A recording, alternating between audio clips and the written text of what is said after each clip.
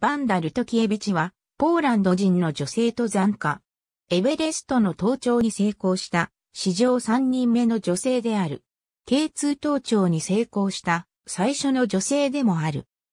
女性だけのパーティーを組織して、冬季マッターホルン、ナンガパルバットに挑み、それぞれ初の登頂を成功させた。世界の8000メートル本、全14座のうち8座の登頂に成功した。1992年、49歳で挑んだ9座目のカンチェンジュンガの頂上付近で行方不明になった。バンダ・ルトキエビチは1943年2月4日にプルンゲで生まれた。ルトキエビチが誕生した当時は第二次世界大戦の戦時中であり、プルンゲは名目上はポーランド第二共和国に属すが、実質的にはソビエト社会主義共和国連邦が支配していたという状況にあったため、プルンゲをポーランド領と書く出典と、そのようには書かない出典の両方がある。終戦後の住民移動で、ルトキエビチの家族はポーランド人民共和国の領土内へ移住することにし、最終的にブローツワフに居を定めた。ルトキエビチは1965年にブローツワフ工科大学を卒業し、電気系のエンジニアになった。オートメーションシステムエンジニアリングの研究所で働き始めるが、1970年代前半にワルシャワに引っ越し、計算機研究所で働いた。この頃、ルトキエビチはバレーボールや女子七種競技の選手であった。さらに後年になると、ルトキエビチはカーレースにも挑戦した。ユナクグルイソコレさんの頂上からの眺め辞書によると、バンダ・ルトキエビチが山に興味を持ったきっかけには、ポーランド製の重量級モーターバイク、ユナクが間接的に関わっている。1961年、ルトキエビチ18歳の夏のある日、彼女が愛車のユナクを走らせていたところ、道の途中でガス欠になってしまった。通り過ぎる車に手を振って、助けを求めていたルトキエビチに気づき、バイクを止めたバイク乗り集団の中に、ボグダン・ヤンコフスキという男がいた。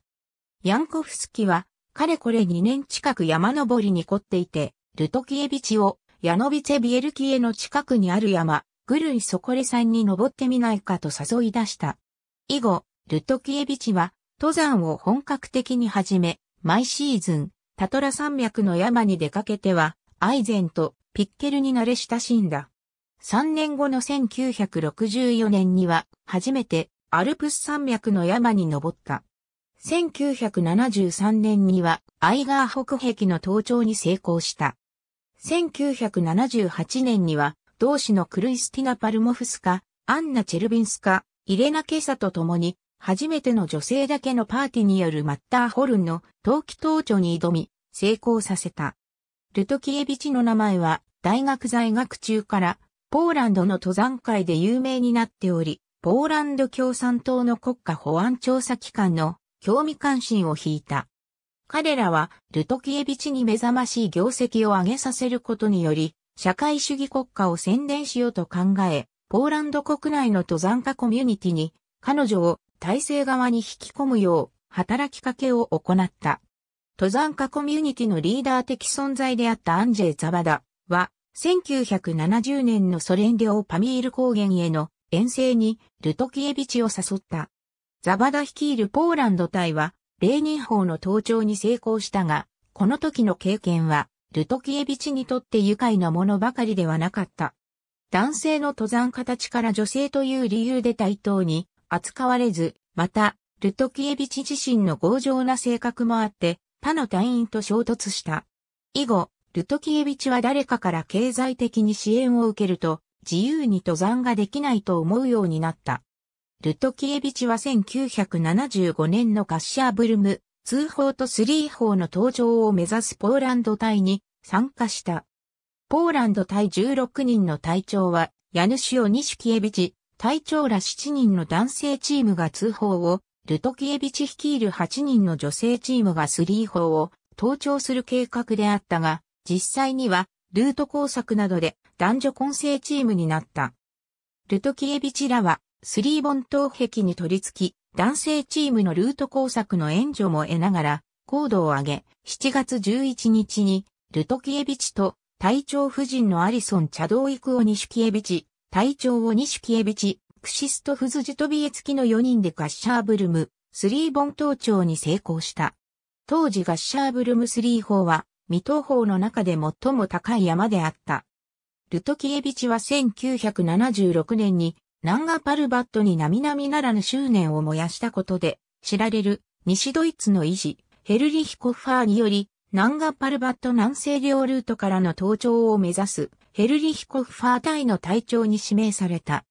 しかしながら当初ヘルリヒコファーの部隊に加わる意思を示していたハンスシェルが独自にオーストリア隊を組織して先にパキスタン政府に許可を得南西両ルート登頂に成功した。ルトキエビチは隊を率いて第二島を試みたが、隊員の一人が転落死したことに動揺し、登頂を中止した。ヘルリヒコファーは、ルトキエビチには体調に必要な厳格さに欠けていた、という厳しい評価をした。ルトキエビチは、1978年にエベレスト登頂に成功した。田部井純子と反対に続く史上3番目の女性による登頂、ポーランド人としては初である。1985年にはナンガパルバットに女性だけのパーティーで挑み、登頂に成功した。ルトキエビチは1986年に K2 に挑み、登頂に成功した。女性第一等である。1986年の K2 は、ルトキエビチの女性第一等のほか、24時間以内の登頂記録や新ルート開拓があり、登頂者が過去最高の27人という記録的な年になったが、シーズンを通して13人が亡くなり、悲惨な遭難事故もあったので、登山山岳史上、暗い夏、ブラックサマーとして記憶されている。ルトキエビチは、リリアヌとモリスのバラール夫妻、さらにもう一人のフランス人男性とパーティーを組み、シーズン開始直後からアルパインスタイルで山頂を目指した。4人は頂上に立ったが消耗が激しく、ボトルネックと呼ばれる頂上近くの共愛部で一泊した。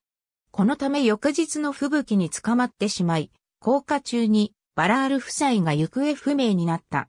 夫妻は吹雪で道を見失ってしまったものとみられる。これにより、記録上はルトキエビチが単独で最初に K2 登頂に成功した女性とされている。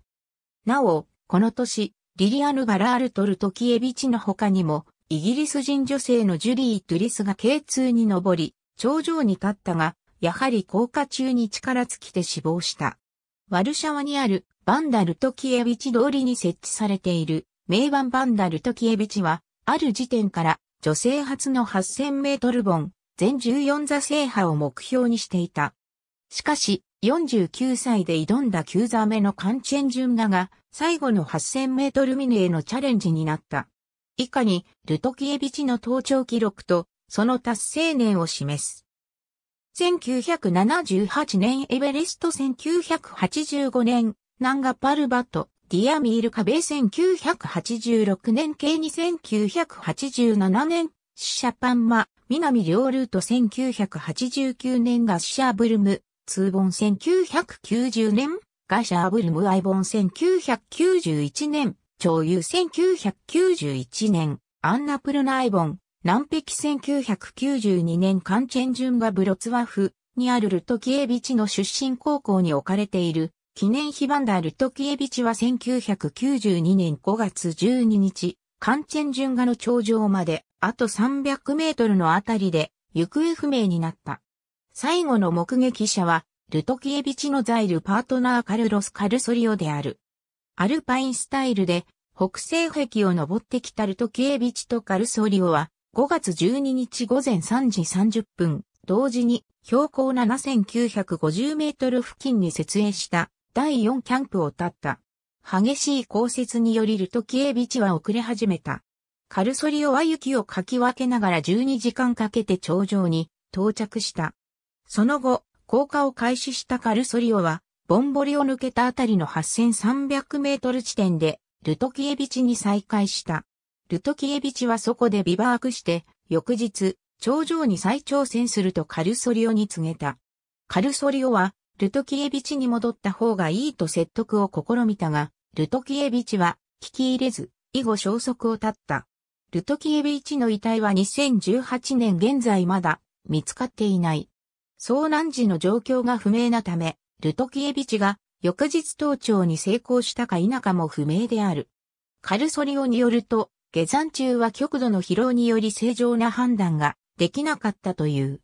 ルトキエビチも同様に極度に消耗しており、正常な判断ができなかったのであろうという。1992年のカンチェンジュンガは条件が厳しく、カルソリオンはこの年唯一の登場者となった。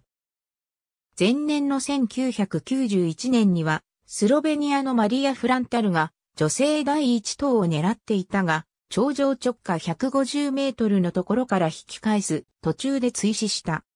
カンチェンジュンガの女性第一等は、ルトキエビチの挑戦も失敗した後はしばらく間が空き、1998年にアメリカのジネット・ハリソンが初めて成功させた。バンダ・ルトキエビチは1980年代から山岳ドキュメンタリー制作に熱心になり、1986年のアコンカグア盗聴を記録している。著書は2冊、その他に盗聴レポートなどが多数残されている。ありがとうございます。